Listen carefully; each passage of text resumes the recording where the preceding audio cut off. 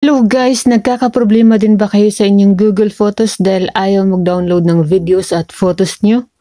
Well, sa video na to ay isi-share ko sa inyo ang alternative solution na ginagawa ko. So ayun na nga, sinubukan ko na lahat-lahat ng options based sa mga napanood ko sa iba. Clear cache, reinstall, etc. at kung ano-ano pa. Pero same pa din, talagang ayaw ni Google Photos i-download yung mga videos ko. Kaya ito yung ginagawa ko follow this. Siyempre, open muna natin ang ating Google Photos at pumili tayo ng video na gusto nating i-download.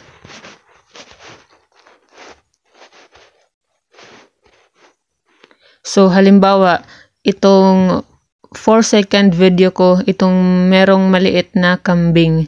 So, i-click po natin yung video and instead of instead of clicking these three dots here, para mag-download dahil hindi nga tayo dahil yung problema nga ng Google natin ay hindi tayo makapag-download. So, instead of clicking the three dots, i-click lang po natin yung video. Tapos, i-click natin itong edit dito sa bandang ibaba. So, ayan, magda-downloading na po siya. So, hintayin lang po natin dahil medyo mabagal yung signal natin.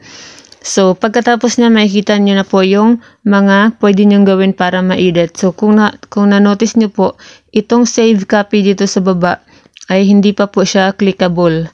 So, para maklik niyo po yan, so dapat i-edit niyo po ang inyong video ng kahit na pinakasimple. So, kung halimbawa ayaw nyo talagang baguhin yung video ninyo, ayaw nyo i-adjust, ayaw nyo i-filters, ayaw nyo i-mark up.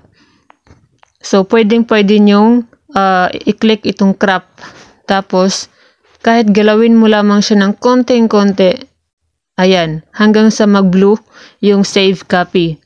So, ayan na po. So, pwede na po nating i-click yung save copy. At pagkatapos po niyan ay magsis- meron na po tayong copy ng video na to sa ating library. So, ibig sabihin downloaded na po siya. So, yan po yung alternative solution na ginagawa ko. Dahil nga po ayaw na ayaw ni Google Photos na i-download yung mga videos ko. So, sana po ay nakatulong din po sa inyo dahil sinubukan ko na po talaga lahat-lahat and uh, yun pa rin po ayaw talaga. So, pero i-try nyo rin po, i-try nyo pa rin po yung mga options. Maraming options po na makikita online. So, i-search nyo lamang po uh, can't download Google Photos, yung mga ganun. So, maraming, sobrang dami pong options. Pero kung halimbawa wala na talagang choice, uh, ginawa nyo na lahat, ina, i, ina, uninstall nyo na po yung apps nyo, uh, tapos nag-install po kayo ulit, tapos ganun pa din. So kung wala na tal- talagang option, ayan, uh, i-edit nyo na lamang po, tapos galawin nyo lamang po, gawan nyo po ng kahit kunting-kunting edit hanggang sa maklik nyo po yung save copy. So, thank you for watching. Sana po ay nakatulong po sa inyo and don't forget to click the subscribe button.